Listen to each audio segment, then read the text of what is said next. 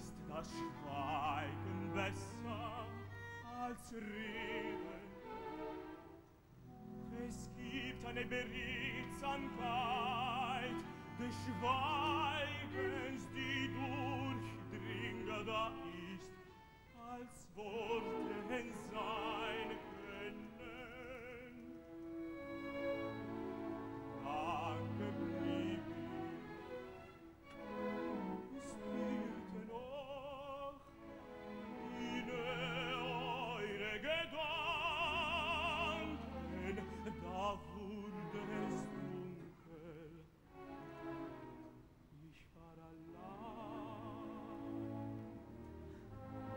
Seit jener Stunde bin ich atme nur noch in dir.